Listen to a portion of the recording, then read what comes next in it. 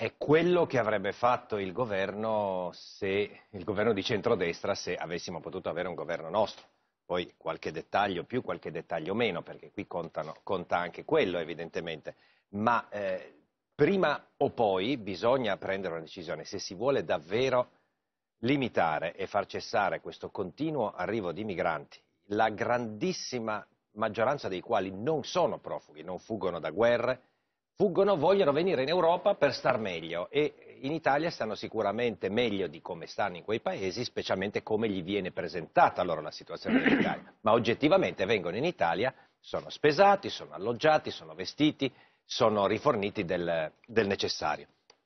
E poi sperano forse di avere anche un reddito un giorno da poter aiutare le famiglie che lasciano a casa, tenendo presente che sono quasi tutti maschi e quasi tutti giovani.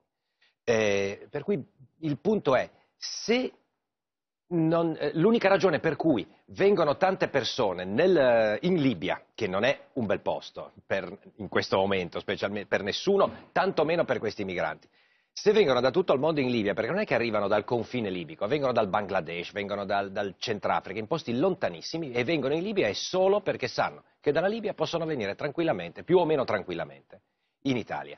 Al momento in cui scoprono che non è più così, questo traffico orrendo, schifoso, cioè lei dice non partono più, quando capiscono che non è così semplice dovrebbe, arrivare e restare... Dovrebbe, esatto, sacrificare il piccolo patrimonio familiare, perché questa è la maggior parte dei casi, perché uno dovrebbe sacrificare il piccolo patrimonio familiare per arrivare in Libia, farsi un, qualche miglia e poi ritornare in Libia. Nessuno lo farebbe, tantomeno partirebbe dal Bangladesh, subire ogni sorta di abusi, dico il Bangladesh per dire un posto lontanissimo, per dare un'idea, subire ogni sorta di abusi, essere derubati, pagare comunque queste somme se non per venire in Italia. Al momento in cui si capisce che in Italia, così come in Spagna fino ad oggi, la Spagna ha raccolto in questi anni, mentre in Italia sono arrivati 650.000 persone, in Spagna ne sono arrivate 43.000. Mm. Allora, eh, se ci fosse stata in questi anni questa, la stessa accoglienza in Italia di quella che c'è stata in Spagna, cioè quasi nulla, è evidente che queste persone non sarebbero partite, perché quando mai dovrebbe venire l'idea uno dall'Eritrea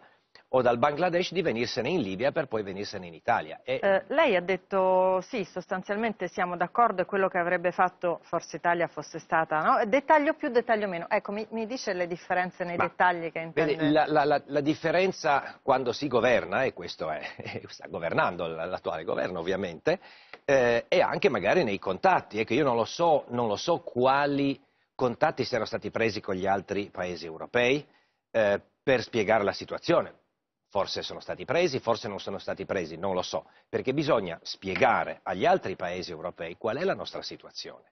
Eh, ci sono queste, sono queste svariati navi... anni diciamo, che tentiamo di spiegarla, no? Sì, però, però eh, abbiamo ricevuto tante belle parole, mm. sia nel senso di dire che bravi che vi siete presi tutta questa gente, sia nel senso di addirittura è stato detto da autorità europee, intendo dire de, de, dell'Unione Europea, o di altri paesi come la Francia e la Germania hanno detto sì, l'Italia è stata lasciata sola, però continuano a lasciarci soli. Cioè, se si continua appunto con questo, questo modo dove dicono ma fin tanto che se li prendono loro va bene. Fino a un certo momento Lei volevano... avrebbe chiuso i porti come ha fatto Salvini, rimandandoli indietro, aspettando fare, in un parcheggio in mare qualcuno bisogna che fare qualcosa, aprisse Bisogna fare qualcosa per mettere fine a questo traffico, perché senza l'ultimo miglio, cioè nessuno pagherebbe il, eh, eh, il, trafficante di droga se poi non gli dà la droga. E poi qua dopo parliamo anche di tutta la parte, lei dice se sanno che non possono arrivare restano a casa loro a, a difendere il loro piccolo patrimonio, ma poi c'è tutto il discorso del business, perché in alcuni casi è un business. enormemente di meno aiutarle nei loro paesi, ma, mentre invece facendo così portiamo via quelli che si suppone siano i più eh, energici, i più vigorosi di quelle persone che potrebbero mm. stare nel loro paese e migliorarlo e se ne vengono via lasciando le loro famiglie sole, non si capisce quale sia la situazione. Non si risolve il problema, si spende molto ma molto di più di quello che si ecco, spenderebbe in Italia.